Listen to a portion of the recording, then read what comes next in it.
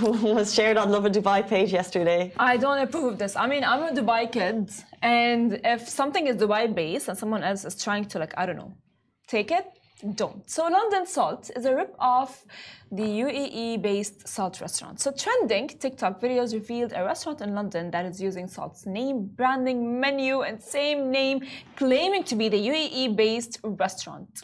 As we know, the Salt story is incredible. It originated from a simple uh, Airstream trailer at Dubai Kite Beach with two women at its helm, Amal Al Marri and Deem Al Bassam emphasizing fresh ingredients, amazing food, and community. So, guests, are welcomed as part of the family known as Salters. The restaurant belongs to the independent food company and has grown to generate over 1 billion dirhams in revenue and has 2,500 plus staff and over 30 branches. Like we said, it's incredible. The in, in, independent food company is a UAE based hospitality company now known for cultivating distinctive homegrown food concepts, uh, which foster, as we said, community. The portfolio now includes Salt, Parker's, Somewhere, Pub Public and Grind, and the independent group is dedicated to bringing people together through these amazing foodie experiences. So, following, of course, people's recognition that London Salt is a rip-off Salt's official account, promptly shared on their profile on their official Instagram story a list of their branches, which, as expected, did not include a London branch.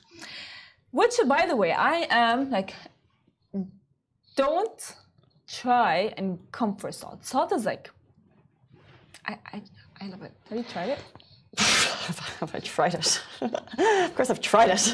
If you haven't, by the way, if you're new to Dubai and you're thinking, where do I go to get the best burgers? Salt, pickle, high joint, end off. But no, um, uh. no, there's so many more. We're so lucky to have such an incredible burger food scene in the city. Can I just say though, mm-hmm. it's so interesting to see it, but imitation is the best form of flattery.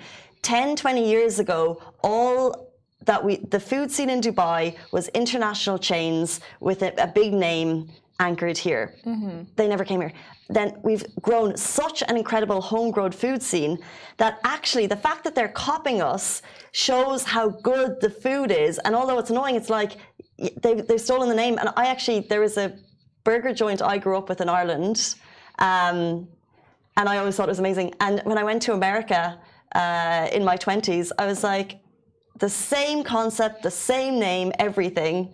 Um, but we had literally just someone, some smart, opportunistic businessman had taken the name, taken the brand, and just started in Ireland because he saw the incredible value that it would have. So that's what's happened here. I don't condone it, but it just shows that salt is clearly something to be imitated. I know but I mean, like, look, look at the burger. I mean, okay, fine. I'm sure it's good. I'm sure it's yeah. Fine, it's not going to be the same. But it's never going to be the same because, like, there's like the Cheetos. Oh my god, the Cheetos burger. You know, no, Hisham, just don't. Don't it's never say that. No, no, no, no. It's not going to be the same. The slider is too delicious. No, no, it's it's not. It's it, I mean, yeah, I mean, but you know, like that's the thing about salt. You know, like you get like two mini the sliders, cute, delicious, sliders, and the lotus uh, uh, desserts. Oh my god, I am dying right now. All I'm craving right now is a burger and. And a cooler. it's not the time because it is 8.53, which it means it is coffee time. Make